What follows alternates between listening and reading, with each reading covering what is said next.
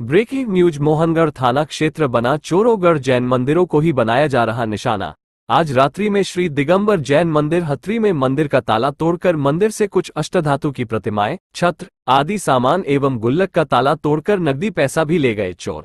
अभी कुछ दिन पूर्व अतिशय क्षेत्र बंधा जी पर हुई चोरी करने का प्रयास हुआ था। इस घटना का भी कोई सुराग नहीं लगा पाई पुलिस और एक हफ़्ते के अंदर ये दूसरी वारदात हो गई। आखिर कब तक मौन रहेगा जैन समाज? न्यूज़ जतारा चैनल से राजेंद्र नायक की रिपोर्ट। अब आप एक गवाह बन जाओ। आपके घर में भी हुई ना? हाँ मैंने गवाह बना लिया यही का मेंशन करना कौन मंदिर का वहाँ का काम? मेंशन का गवाह बोला अवश्य गवाह बना लीजिए एक उसको गवाह बना लो वो नहीं चोरी वाले। और वो हम नहीं एक एक किसी और का भी क्या नाम है आपका? हाँ, नाम क्या है? जय बड़ी छोटी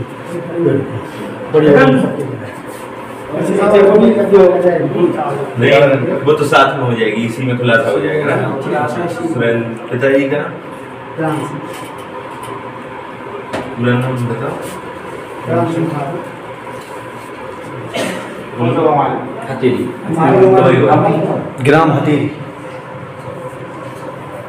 हाँ मोहम्मद हाँ, आप बता